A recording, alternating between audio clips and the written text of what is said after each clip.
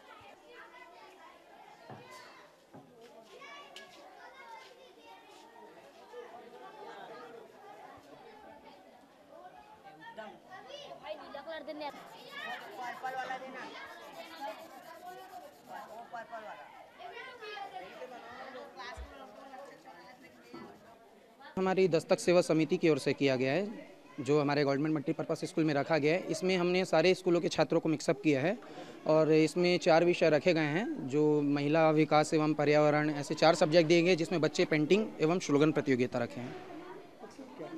इसका मकसद ये है कि बच्चों के अंदर जागरूकता उत्पन्न करना, देश के लिए, पर्यावरण के लिए, महिला विकास के लिए हमारे पर्यावरण में जितना प्रदूषण फैल रहा है उसको लेकर जितनी भी जागरूकताएँ हैं बच्चों के थ्रू हम इसको जागृत करना चाह रहे हैं बच्चों में। बहुत सारे बच्चे पर्यावरण को लेकर चित्र अपना बना रहे हैं। कई सारे बच्चे महिलाओं के प्रति बना रहे हैं, जो महिलाओं पे शोषण हो रहे हैं, उसको लेकर चित्र बना रहे हैं। बहुत सारे प्रदूषण पे, पर्यावरण पे लेकर सभी समस्त वस्तुओं को मिलाकर बच्चे चित्र बना रहे हैं हमारे यहाँ। मेरा शुभ नाम अर्पित सहगल।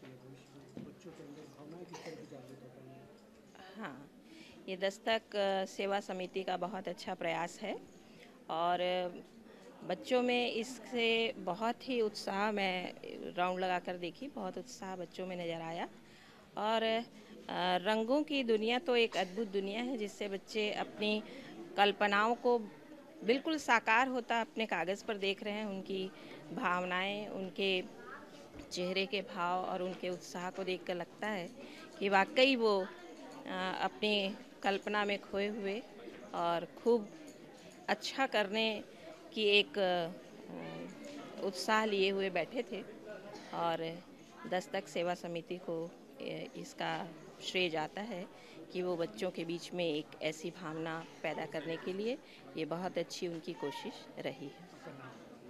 मैं एस बी मल्होत्रा और शिक्षा वगैरह की बंदिशों को हटाया गया है। क्या लगता है ये कोशिश कितनी सार्थक साबित है नहीं क्योंकि देखिए सोच है तो एक छोटे बच्चे में भी होती है और एक बड़े बच्चे में भी। तो यहाँ पे मेरी कल्पना है तो कल्पनाशील तो छोटा बच्चा भी होता है तो बहुत अच्छा किया इन्होंने कि एक बंदिश हटा दिया एज का ताकि बच्चे जिस एज ग्रुप के हैं वो अपने हिसाब से सोचें और कल्पना करके चित्र बनाएँ।